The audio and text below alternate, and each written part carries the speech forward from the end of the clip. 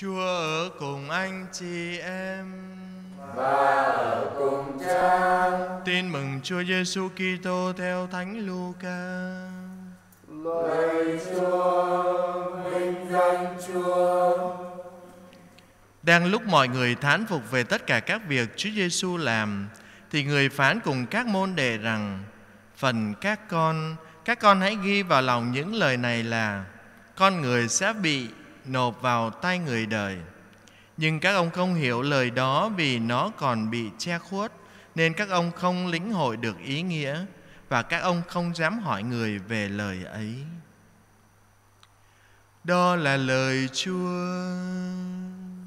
lạy Chúa Kitô ngài khen Chúa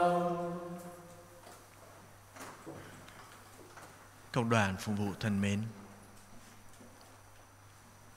Tin mừng chúng ta vừa nghe Thánh Luca thuật lại về việc Chúa Giêsu tiên báo về cuộc khổ nạn của mình lần thứ hai. Và cái khung cảnh tin mừng này diễn ra sau khi Chúa Giêsu trừ quỷ cho một em bé. Các tông đồ làm tất cả mọi thứ nhưng không trừ được quỷ này. Và mọi người đều phải cậy nhờ đến Chúa Giêsu. Và Ngài quát mắng tên quỷ nó liền suốt ra khỏi em bé này. Và mọi người đều sừng sốt, kinh ngạc cũng như vui mừng vì quyền năng Thiên Chúa được thực thi nơi Đức Giêsu thành Nazareth. Và trong cái sự vui mừng ấy của đám đông dân chúng cũng như các tông đồ thì Chúa Giêsu lại nói với các tông đồ về kế hoạch sứ vụ của Ngài là lên Jerusalem bị nộp vào tay người đời, bị các thượng tế, các kinh sư và kỵ lão bắt rồi kết án và bị giết chết. Ngày thứ ba Ngài sẽ sống lại. Những lời Chúa Giêsu tiên báo về cuộc khổ nạn của mình các tông đồ không hiểu. Còn có một cái gì đó đang che khuất các ngài khiến các ngài không nhận ra được những lời mà thầy vừa nói với các ông.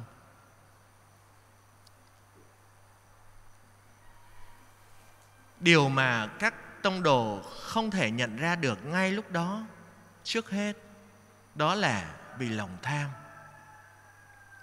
Những người đi theo Chúa Giêsu chắc chắn ban đầu có những cái kế hoạch, những ước nguyện của mình. Như Simon nhiệt thành chẳng hạn, hay như Jacobe và Gioan con Zebede. Sau cái đoạn tin mừng này thì chúng ta tiếp tục đọc trong tin mừng Luca chúng ta sẽ thấy là các tông đồ bàn tán với nhau xem ai là người sẽ ngồi bên phải, bên trái trong nước của thầy, ai là người làm lớn nhất trong nước trời. Và chính Gioan và Jacobe xin với Chúa là cho chúng con một người ngồi bên phải, một người ngồi bên trái thầy trong nước của thầy. Cho nên cái viễn tưởng các tông đồ đi theo Đức Giêsu nó được tình hành bởi một cái niềm tin vào một đấng Messia vua. Đấng ấy sẽ đến để chăn dắt Israel và thiết lập lại một triều đại Israel huy hoàng như thời của vua David. Trong bối cảnh Israel đang bị đô hộ bởi đế quốc La Mã và tổng trấn Philacto toàn quyền coi sóc Israel lúc bấy giờ. Cho nên cái niềm khao khát được tự do nơi Israel nó mãnh liệt lắm. Và vì vậy khi thấy một Đức Giêsu quyền năng như thế đuổi được cả quỷ, chữa lành cho nhiều người, hóa bánh ra nhiều cho hơn 5.000 người ăn non nê từ năm chiếc bánh và hai con cá. Cho nên họ đi theo Chúa Giêsu với một viễn tưởng rất trần gian như vậy. Và vì vậy, các tông đồ không hiểu được lời tuyên bố của Chúa Giêsu về cuộc khổ nạn của mình. Cái điều thứ hai mà các tông đồ không nhận ra được con đường và sứ mạng của Đức Giêsu đó là họ nôn nóng vinh quang của Thiên Chúa được thực hiện ngay. Nôn nóng nước Thiên Chúa được hiển trị ngay. Nhưng ẩn sau cái vinh quang của Thiên Chúa ấy thì nó là vinh quang của các tông đồ. Chính vì vậy mà chúng ta mới thấy được sau cuộc phục sinh của Đức Giêsu trên con đường Emmaus, Chúa Giêsu đã cắt nghĩa cho hai môn đệ khi họ chán nản, buồn rầu, thất vọng bởi vì thầy của mình đã chết rồi, đã an táng rồi. Kể cả khi các phụ nữ nói là chúng tôi không thấy thầy ở ngôi mồ trống nữa. Thầy đã hiện ra với chúng tôi, nhưng các ông vẫn còn hoài nghi và Chúa đã cắt nghĩa cho các ông. Nào phải con người phải trải qua đau khổ mới đến được vinh quang sao? Lòng các ông rộn rực lên niềm vui. Cho nên cái ước vọng được thành công của Đức Giêsu nó ẩn chứa phía sau đó là thành công của người môn đệ. Chính cái viễn tưởng ấy làm cho các đông đồ không thể nhận ra được. Một Đức Giêsu mà người ta đang suy tôn như thế lại là một Đức Giêsu phải chịu đau khổ, một Đức Giêsu bị kết án oan, một Đức Giêsu bị lăng nhục trên cây thập giá và bị kết án tử như một tử tội. Chỉ sau biến cố phục sinh, các tông đồ mới có thể hiểu ra được những lời mà Chúa Giêsu đã nói với các ngài. Và từ đó nhờ sức mạnh của đấng phục sinh và thánh thần của đức của đấng phục sinh trao ban trong ngày thứ nhất trong tuần, bình an cho anh em, hãy lãnh nhận lấy thánh thần. Chính thánh thần đã thúc đẩy các tông đồ ra đi làm chứng cho một đức giêsu đã cứu chuộc con người bằng con đường của đau khổ mới đến vinh quang.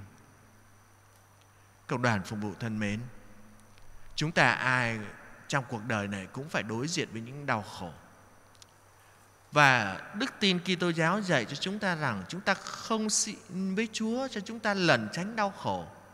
Nhưng chúng ta xin với Chúa cho chúng ta đủ nghị lực để khi đối diện với đau khổ chúng ta có thể vượt qua được nhờ Đức Kitô chịu đóng đinh.